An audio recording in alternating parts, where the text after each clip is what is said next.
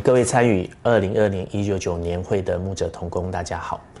今年受到疫情的影响，我们从实体的年会转为线上的年会。好，所以到不知道各位牧者同工，您的教会有没有受到这些疫情的影响？虽然我们受到疫情的影响。但是我们很多已久的施工还是持续的进行，或很多新的方案也一样会持续的推出。所以在这里要跟各位牧者同工分享我们一个最新的一个方案。好，在经过过去这一两年的试办之后呢，我们会在今年正式来推出一九一九陪读班的营养晚餐的计划。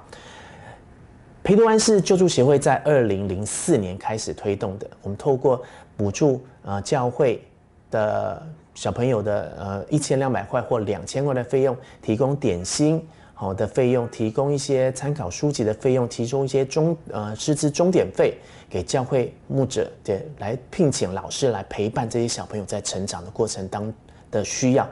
但是成长过程当中需要，其实不是只有陪伴，其实很实际的现实。我们也看到很多的陪读班有提供小朋友点心，甚至很多陪读班提供晚餐。当然，这些晚餐的费用其实都是教会自己去募集、自己去筹资来来供应的。所以我们在希望说，既然一九九十五年开始，从二零一零年开办到现在。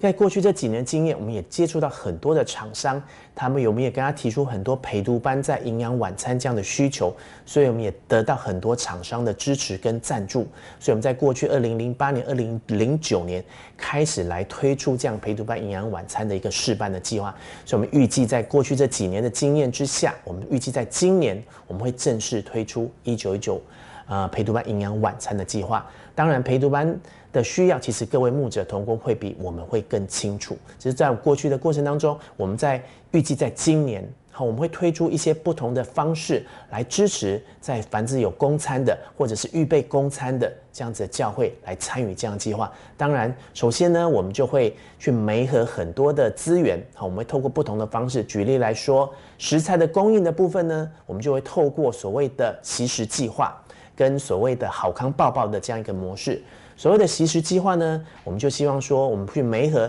在陪读班周围，你有很多通路。举例来说，你有家乐福，你有全联，好，我们就希望目前就跟他梅河到将近有一百多个陪读班，可以去收取这些所谓的习食。当然，全联的部分就是我们每天晚上九点九点半的时候，在店打烊之前，我们去把它今天没有卖完的这些的食材，包含有鲜肉类啊。有点心类啊，或者是有面包、蔬果这些东西带回来，第二天我们就可以来准备给呃小朋友的这样子一个晚餐来使用。在过去这几一两年的试班经验当中，其实蛮多的陪读班呃都有蛮好的一个回应哦，特别是很多像特别是肉类的部分哦，原来只是陪读班只是要去要去这些店里面去做购买。可是，加入这样的计划之后呢，我们可以用领取的方式去领取这些所谓的食材的部分，来提供给陪读班，就从购买管为去改为去领取，好，其实其实可以减轻很多陪读班在食材购买上的一个一个费用。那另外第二个模式就是我们会提供所谓的好康抱抱，有应该蛮多的班级其实都有参与过这样子的一个。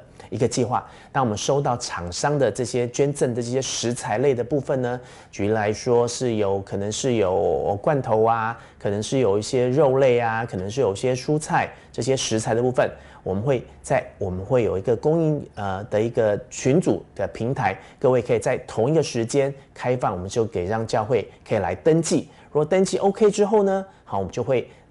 请物流公司把这些东西直接送到宅配到啊陪读班去，用陪读班一样可以来使用这样子的一个呃物资，做小朋友的营养的晚餐的一个使用。所以，这样第第一个第一部分就是我们刚刚讲的食材的供应。然后另外一个部分呢，举例来说，今天如果有大批的物资会进来，其实不是陪读班可以在单一时间呢消化使用掉的部分，我们就会在一九九十五年台中园区，好，如果有一些牧者也许知道，我们在那边有成立一个所谓的中央厨房，我们会在那边把这些食材，不管是肉类啊、根茎类的这些的食材，我们做成所谓的冷冻调理包，好，在。再透过物流去送给这些我们需要的教会来使用，在他的陪读班，甚至如果有老人有望德福施工的需要，都可以使用来来这样子的一个食材的调理包的部分。当然，我们也非常看重食安的部分，所以在我们的中央厨房，我们也在呃去年也得到所谓的呃食药署 HACCP 的这样子一个验证。好，所以当然我们希望说，透过我们的。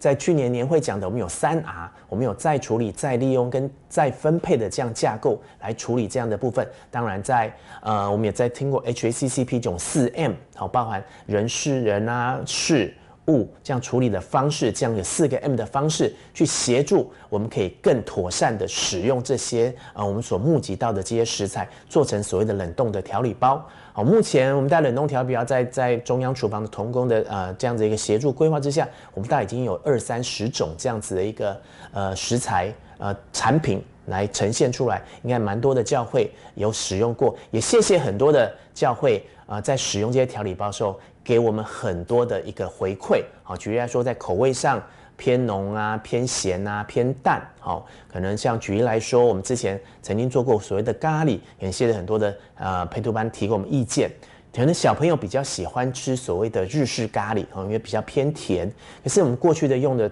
咖喱可能比较像是印度咖喱，稍微偏辣，哦，所以我们也真的很希望啊各位。嗯，牧者同工在使用这些，不管是你刚刚讲的习食，或者是好康抱抱，或者是在调理包的部分，你有任何的意见，有任何的建议，都希望回馈给我们。我们可以希望说，我们一起在食物银行在陪读班的这样子一个合作上面，可以让我们的小朋友其实有更多均衡营养的机会，可以健康的成长。其实我自己在。过去是我我觉得城乡差距真的很大哈，真的在，可是真的是营养的部分啦。我们到时候看过我们在屏东的陪读班，好跟我们在台北的台北的这些呃陪读班的小朋友，其实在身高上其实就有非常大的落差。好，这当然。我觉得是因为城乡差距部分，可能在中南部，特别在偏乡，好，所以这个部分小朋友的营养，或者是可能是有一餐没一餐，甚至我觉得在公部门的学校的营养晚、营养午餐的上面都会有不同的，可能北部的营养午餐的费用比较高，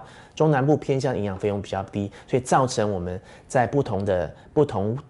城市的是呃乡镇的小朋友。他们在营养摄取上就是很大的一个落差，所以我们希望透过这样子营养晚餐的计划，可以让我们不管是在城乡，可以拉近城乡的差距，特别是在偏乡资源相对少、教会相对可能相对弱小的这些的呃陪读班，我们有更多的资源，我们可以就这些可以陪工提供这些，可以可以与这些教会一起来关怀我们的下一代，关怀我们的这些弱势儿童，让他有一个以成营养。均衡的一个成长的一个环境，就是在二零二零年，我们希望说可以透过这些